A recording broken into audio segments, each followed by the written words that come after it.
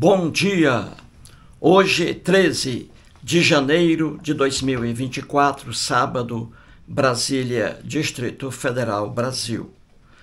Mais um vídeo trazendo mais uma explanação de Henrique Agostinho Silvério. Mais uma explanação aqui. Mais um fato vivenciado por ele segunda-feira agora passada. Estou aqui todos os dias trazendo explanações e comentários, trazendo pontos de vista de várias pessoas espalhadas pelo Brasil e até fora do Brasil, pessoas que diariamente frequentam minha página no YouTube. Então, aqui, novamente, mais uma explanação. É bom a gente ouvir aqui o que a outra pessoa tem a dizer. É muito bom. Então vamos lá. O Henrique Agostinho Silvério, sempre aqui eu gosto de identificar as pessoas.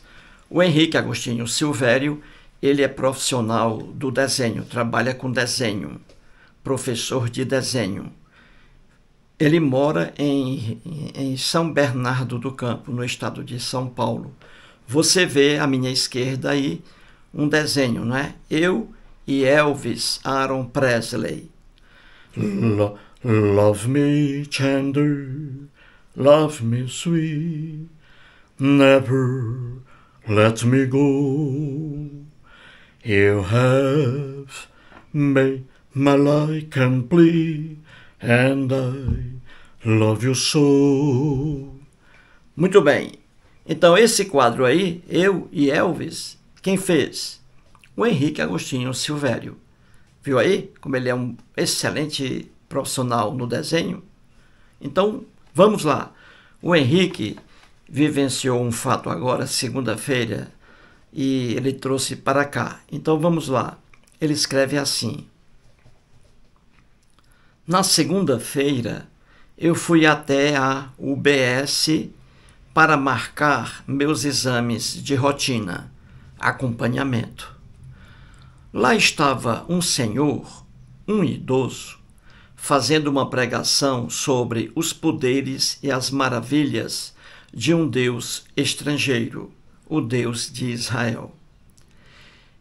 E ele, o Senhor, não tinha a menor noção do que estava a fazer, falando do poder de Deus e de Jesus em uma UBS onde ele mesmo fora pegar remédios feitos pela ciência. E a situação só piorou, pois ele estava em uma cadeira de rodas, tendo uma perna amputada na altura do joelho. Enquanto ele falava, meniei negativamente com a cabeça. Uma senhora me perguntou se eu não acreditava em Deus. Respondi que acreditava no poder da ciência e antes que ela pudesse me retrucar, fui chamado ao atendimento. Então vamos lá, gente. O Henrique Agostinho Silvério diz aí que segunda-feira agora passada ele foi a uma UBS. UBS é uma sigla Unidade Básica de Saúde. U, unidade. B, básica. S, saúde. Então, nas cidades por aí brasileiras, a gente vê as UBS, que são as unidades básicas de saúde. As unidades básicas de saúde são um órgão do governo, um órgão público e não privado, UBS. A UBS, Unidade Básica de Saúde, ela foi feita pelo, por vários governos estaduais com o objetivo de desafogar hospitais. Porque, regra geral, as pessoas correm para os hospitais, não é? E às vezes não são casos de urgência. Então, para desafogar os hospitais, para evitar que muitas pessoas procurem os hospitais em casos mais, mais leves, existem aí a UBS, a Unidade Básica de Saúde, e também a UPA, né? Unidade de Pronto Atendimento, UPA e UBS. A UBS faz um trabalho de primeira categoria, um trabalho de amor, de solidariedade, ajudando principalmente pessoas carentes. Então, em uma UBS, em uma unidade básica de saúde, você tem ali vacinas, injeções, você tem tratamento também odontológico em UBS, unidades básicas. Você tem também ali é, é, a entrega de medicamentos. Pessoas carentes vão ali em busca de remédios, remédios gratuitos. Então a UBS ela foi feita para desafogar os hospitais, entendeu? E aí o Henrique Agostinho Silvério foi lá fazer alguns exames de rotina, como ele diz aqui. Ele é diabético. Ele é diabético. Então ele foi lá marcar exames de rotina. Veja a importância da UBS, não é? E ali, quando ele entrou, ele viu um senhor lá, um idoso. E esse idoso estava fazendo uma propaganda lá, uma pregação sobre os poderes e as maravilhas de um Deus estrangeiro, que é o Deus de Israel, o Deus da Bíblia, não é? O Deus da Bíblia. O Deus da Bíblia, vamos aqui. Aí o Agostinho olhou esse senhor e o senhor fazendo propaganda, né? E o Agostinho achou aquilo estranho, né? Como é que esse senhor aí está está pregando poderes e as maravilhas de um Deus estrangeiro, o Deus da Bíblia, de Israel? Como é que esse senhor está pregando isso aí dentro de um estabelecimento da ciência? O, Agostinho Henrique não entendeu, não é? É porque o ser humano religioso, o homem religioso, ele se comporta como se fosse uma pessoa com problemas mentais, já dizia Sigmund Freud. Então você vê aí um idoso dentro de uma UBS que é um estabelecimento científico ciência pura, medicamentos ali, não é? E ele elogiando aí um Deus estrangeiro, o Deus de Israel, louvando Deus aí, dentro de um estabelecimento público científico e não religioso. Aí o, o Henrique achou estranho isso aí. E também achou estranho porque o senhor idoso, além ali de ser uma pessoa carente, o Edson Martins o, o Henrique Agostinho viu que ele estava em uma cadeira de rodas. Então o senhor estava numa cadeira de rodas e pior, ele tinha uma parte da perna amputada e estava ali dentro de um prédio científico é, é, elogiando o Deus da Bíblia, quando devia elogiar ali a ciência. Então o Henrique Agostinho Silvério, como é inteligente, ele é ateu, mas o caso aqui não é o ateísmo, ele é a pessoa inteligente. Como é que a pessoa agradece aí os poderes e as maravilhas de um Deus estrangeiro quando Deus nada tem a ver aí com a UBS? Deus é questão religiosa, UBS, Unidade Básica de Saúde, é questão científica. Ele achou estranho isso aí, né? Aí quando ele viu esse senhor fazendo pregação, elogiando o Deus da Bíblia, dentro de um estabelecimento científico, um senhor numa cadeira de rodas, com uma das pernas, ali a metade da perna amputada, e ainda agradecendo aí ao Deus da Bíblia. E o Henrique, quando viu isso, ele fez assim com a cabeça, ó. Negativamente. Aí uma senhora viu o Henrique fazendo assim, ó. Aí ela perguntou ao Henrique se ele acreditava em Deus. Aí o Henrique disse: Minha senhora, eu acredito na ciência. Na ciência.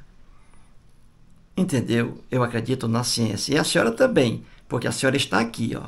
A senhora não está numa igreja à procura de saúde, está aqui em um estabelecimento científico em busca de sua própria saúde. Ele falou isso para ela. Viu aí? Muito bem, gente. Então é isso aí, vamos lá agora. Então vamos. O Edson aqui diz que esse senhor estava fazendo propaganda, estava pregando bem alto, né, lá dentro de um estabelecimento científico, pregando os poderes e as maravilhas de um Deus estrangeiro, que é o Deus da Bíblia. Você aí que está estudando, que está assistindo a esse vídeo, você pode até estar, é, achar estranho o fato de o Henrique ter dito Deus estrangeiro, não é? Você deve achar estranho. Mas a verdade é essa. O Deus da Bíblia é um Deus estrangeiro. O que é uma coisa estrangeira? É uma coisa que não pertence a um povo. Então aqui é o povo brasileiro, no Brasil, não é? Isso, é o povo brasileiro. Aí eu pergunto: o Deus da Bíblia, a Bíblia é um livro brasileiro? Foi escrita a Bíblia por brasileiros? Quem escreveu a Bíblia morava no Brasil? Aí você vai dizer: não. Aí, ó. Então, a Bíblia não é um livro da cultura brasileira. Então, vamos entender isso aí. Não é. Então, veja: a Bíblia é um livro de que povo? Se você estudar a Bíblia, você vai entender. A Bíblia é um livro de um povo. Alguém escreveu dentro de uma cultura, dentro de um lugar. Então a Bíblia é um livro de um povo. E qual povo? O povo hebreu. O, o, a Bíblia é um livro da civilização hebraica e não civilização brasileira, entendeu? É um Deus de fora. Então, se é de fora, é estrangeiro. Então, o Deus da Bíblia é um Deus estrangeiro. Ele não nasceu no Brasil, entendeu?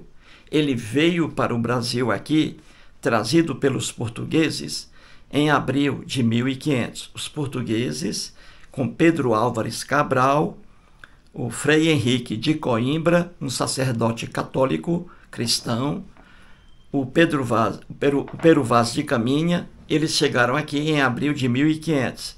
E aí eles trouxeram para cá a Bíblia. Trouxeram para cá o Deus da Bíblia, entendeu? Então, o Deus da Bíblia é um Deus estrangeiro, não é brasileiro. Quando você pega a Bíblia, de Gênesis ao Apocalipse, a Bíblia cristã, você vê ali personagens de uma civilização, uns fictícios, outros reais. Então você vê na Bíblia, você vê rei Davi, você vê Samuel, você vê Salomão, não é? Você vê Jesus, o Jesus judeu no Novo Testamento.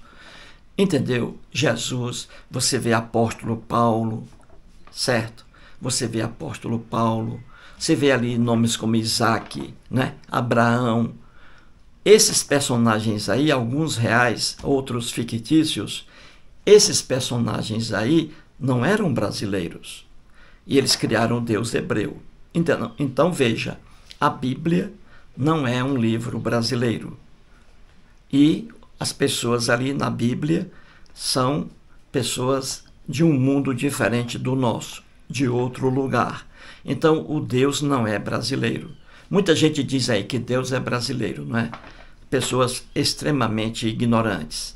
Então, na verdade, o Deus da Bíblia é um Deus estrangeiro. Ele era o Deus apenas do povo hebreu. E quando você lê a Bíblia, você sabe tudo isso. Que Deus sempre escolheu o povo hebreu, porque o povo hebreu é que criou o Deus da Bíblia. Então, o Deus da Bíblia é um Deus estrangeiro, grave bem. E aí vem o, o Henrique Agostinho Silvério, viu esse senhor aí fazendo a pregação, mostrando os poderes e as maravilhas do Deus da Bíblia. Só que esses poderes e maravilhas na propaganda desse senhor, na verdade, nada tem a ver com Deus algum. Deus algum existe, Deus algum entende de ciência, entende de saúde. Esse senhor deveria, devia ter elogiado aí os poderes e as maravilhas da UBS, Unidade Básica de Saúde. Então ele devia estar elogiando aí os poderes das unidades básicas de saúde, porque graças a essas unidades básicas de saúde, esse senhor aí estava lá para receber medicamentos. Ele de depende de medicamentos, esse senhor aí, e ele estava lá para buscar remédios. Então ele tinha que elogiar os poderes e as maravilhas da unidade básica de saúde onde ele estava. Entendeu? Era isso aí que ele tinha que elogiar. Porque ele, da mesma forma que o Henrique Agostinho Silvério, eles foram lá em busca de saúde, em busca de ajuda. Entendeu? O Henrique para se submeter aos exames de rotina todos os anos. Onde? Na UBS. Não gasta um tostão. Olha que maravilha. Então é a UBS que recebe as pessoas, que faz maravilhas. Entendeu? Se, se esse cidadão aqui ficasse em sua casa e não pegasse remédio algum, esse cidadão aqui com certeza talvez já estaria morto. Esse cidadão aqui que estava elogiando o Deus da Bíblia, ele já estaria morto se ele ficasse em casa apenas orando, porque ele sabe que oração não tem efeito algum. Entendeu? Então, esse Senhor, nem ele mesmo acredita no poder de oração. Tanto é verdade que ele estava lá, na UBS. Ele saiu de sua casa, alguém o levou até a UBS para ali receber remédios e fazer exames também de rotina. Entendeu? E o Edson Martins ainda olhou para ele e viu que ele estava numa cadeira de rodas, ainda com uma perna amputada na altura do joelho, uma das pernas, cadeira de rodas. Então veja, se for aí fazer um estudo sobre esse senhor, é bem provável que até a cadeira de rodas aí, ó, ele conseguiu ganhar aí de um, de um órgão público. Ele não conseguiu, não tinha dinheiro para comprar e ganhou a cadeira aí de rodas. Até isso. Cadeira de rodas levando isso a sério também é uma coisa científica. Para fazer uma cadeira de rodas não é fácil o cara bolar essa ideia, cadeira de rodas. Então tudo é a ciência, gente. Tudo é o mundo da tecnologia. Se for esperar aí a ajuda de algum Deus, Deus algum existe, Deus algum ajuda alguém. Veja aqui, estou com a Bíblia aqui no Novo Testamento, só para você entender. Novo Testamento, no livro de Tiago, Tiago, capítulo 5, versículos 14 e 15. Está escrito assim: Veja. Está alguém entre vós doente? Chame os presbíteros da igreja e estes façam oração sobre ele, ungindo-o com óleo em nome do Senhor. E a oração da fé salvará o enfermo, e o Senhor o levantará. Então veja, esse senhor aí é cristão. Só que ele não fica lá na casa, na residência dele, orando. Ele não acredita no que está aqui, ó, em Tiago 5, versículos 14 e 15. Aqui está dizendo o seguinte: quando um cristão estiver doente em casa, ele não tem que ir ao hospital, não. Ele tem que ficar em casa e aí ele tem que chamar os presbíteros da igreja pastores, padres. Ele tem que chamar. Aí esses pastores ou padres vão lá à residência do doente, colocam um óleozinho sobre o corpo do doente, fazem orações. E aí está garantido que essas orações aí que Jesus salvará esse doente. Jesus recuperará a saúde dele. Esse cidadão aí que estava na UBS, ele mesmo não acredita nisso. Ele orou, com certeza ele orou a Jesus, a Deus, orou bastante, só que não obteve resultado. Ele precisa da UBS, da Unidade Básica de Saúde.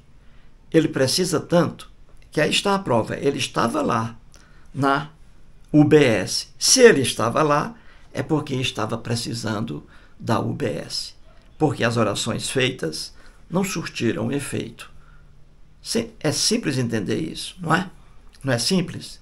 Então ele estava lá dentro de um estabelecimento científico, porque a religião dele não o ajudou aí na, nas doenças. Ele precisa dos medicamentos. Se ele corta os medicamentos, dependendo aí da saúde dele, ele vai morrer. Se ele cortar o uso dos medicamentos, ele precisa dos medicamentos de oração? Não, oração não tem efeito. E aí está, ele mesmo provando.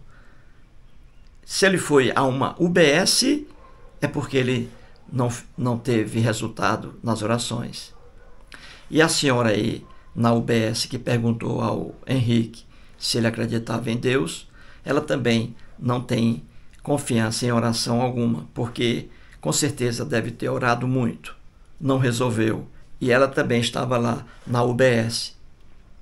A presença de pessoas cristãs em uma UBS é a prova de que as orações não surtem efeito. É simples entender isso. Simples entender isso. Parabéns aí ao grande Henrique Agostinho Silvério. Muito obrigado.